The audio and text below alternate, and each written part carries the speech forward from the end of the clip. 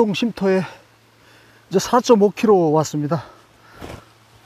2시간 왔는데, 어, 은근히 경사도가 있네. 아. 간식 좀 먹고 가겠습니다. 야. 어, 하늘이 너무 좋다.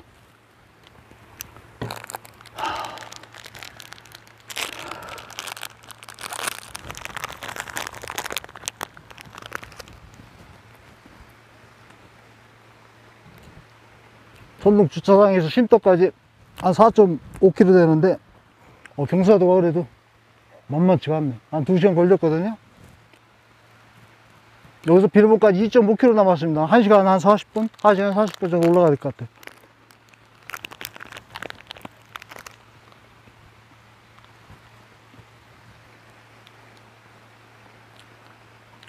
산행은 이제 이제부터 시작인데 이제 가파르게 올라가야 되거든요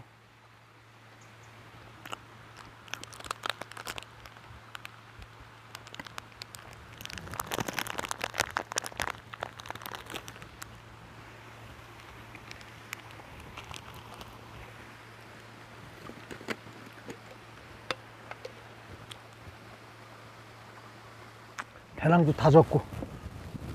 아우 다 젖었어요 옷이.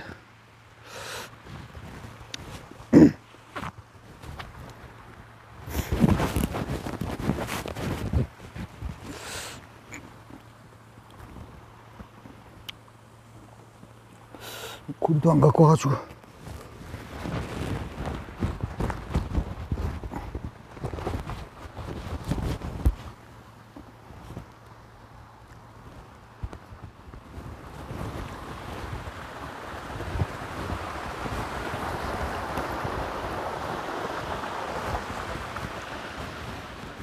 정상이 조금씩 가까워지니까 정상부에는 단풍이 좀 물들기 시작하네요.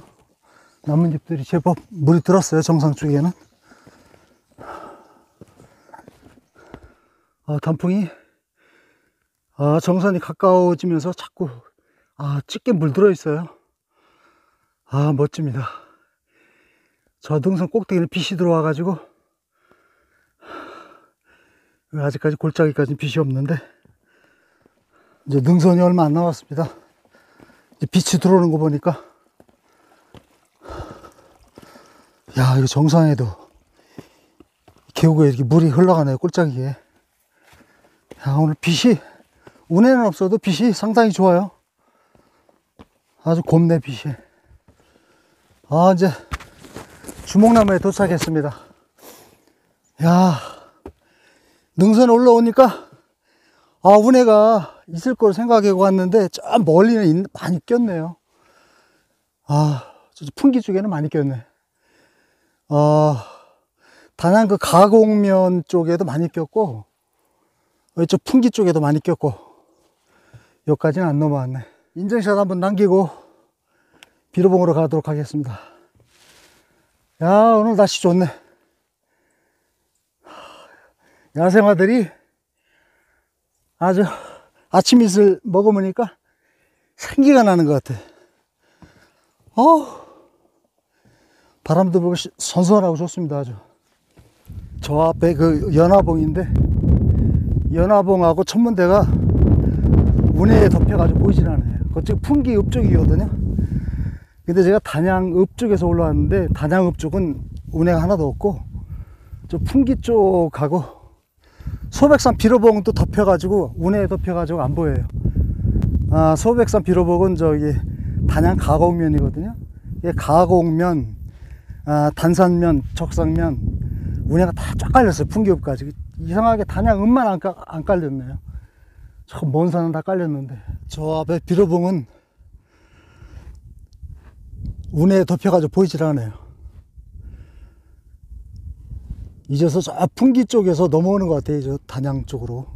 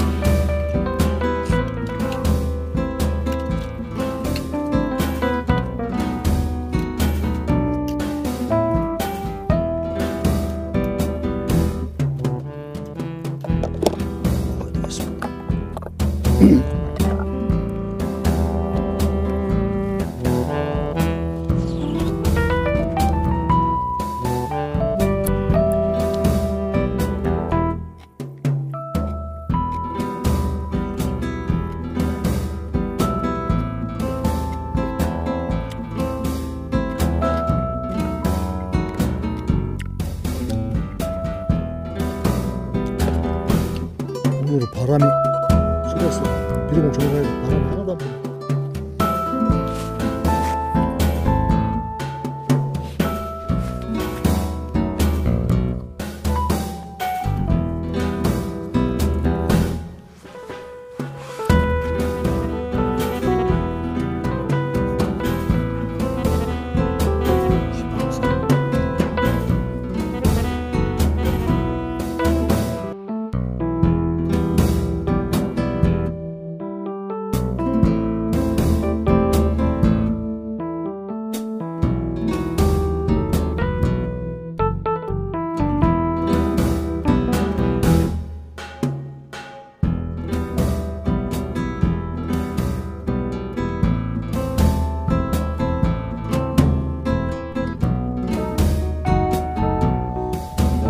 전까지만 해도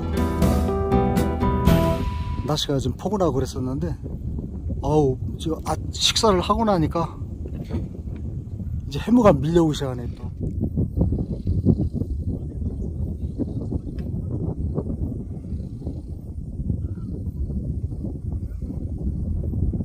지금 뭐 국망봉 방향에서 이제 비로봉 올라가는 중에 지금 공사 중이라 지금 어수선합니다 분위기가 갑자기 그냥 안개바람이 몰아치니까 날씨가 좀 쌀쌀하네요. 이쪽은 그냥 공사가 더 활발하게 움직이니까 비르봉 쪽에서 국망봉 가는 길은 아, 참고로 좀 하고 오셔야 될 것 같아요. 가참 공사가 지- 진행 중이라서 통제는 하지 않지만은 분위기가 좀 어수선하고 좀 그렇네.